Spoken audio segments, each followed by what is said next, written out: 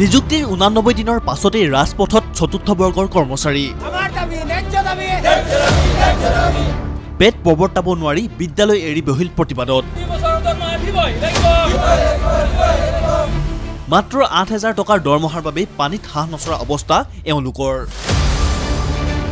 তাৰিখ দুহেজাৰ বাইছ চনৰ তেইছ ছেপ্টেম্বৰ। মুখ্যমন্ত্ৰী তথা শিক্ষামন্ত্ৰীৰ উপস্থিতিত এইসকলক দিয়া হৈছিল নিযুক্তি। এওঁলোক প্ৰাদেশিকৃত মধ্য ইংৰাজী বিদ্যালয়ৰ চতুৰ্থ বৰ্গৰ কৰ্মচাৰী। সমগ্ৰ অসমত চতুৰ্থ বৰ্গৰ কৰ্মচাৰীৰ সংখ্যা পোন্ধৰশ ঊনচল্লিছজন নিযুক্তি লাভ কৰিয়ে ভাবিছিল এওঁলোকৰ চলিব সুখৰ সংসাৰ। কিন্তু ভুল ভাঙিবলৈ বেছি দিনৰ প্ৰয়োজন নহল এওঁলোকৰ। মাত্ৰ ঊনানব্বৈ দিনতেই নিযুক্তি দিয়া চৰকাৰৰ বিৰুদ্ধে প্ৰতিবাদত নিযুক্তিপ্ৰাপ্তসকলৰ।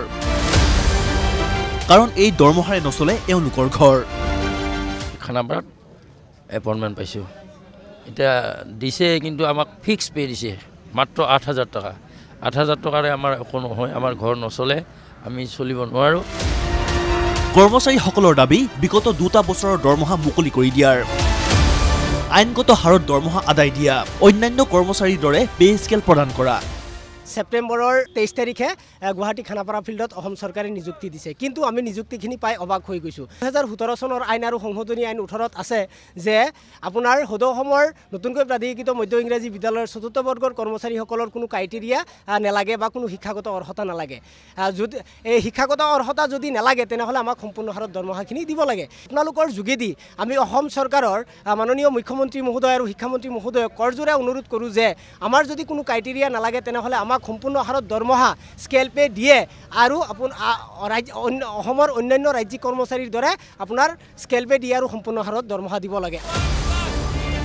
প্ৰশ্ন হয় ৰাজ্য চৰকাৰে চতুৰ্থ বৰ্গত নিযুক্তি দিয়াসকলক পৰ্যাপ্ত দৰমহা দিয়া নাই নেকি?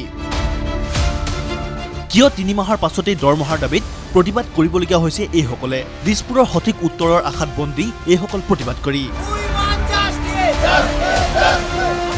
ভিডিঅ' জাৰ্নেলিষ্ট দীপাংকৰ বৰাৰ সহযোগত Tejaswi Bhaskar Chutia report N D twenty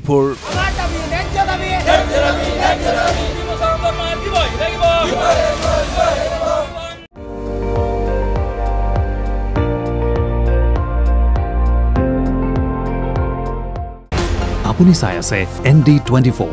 সৰ্বশ্ৰেষ্ঠ নহয় সৰ্বোত্তমৰ দৌৰত।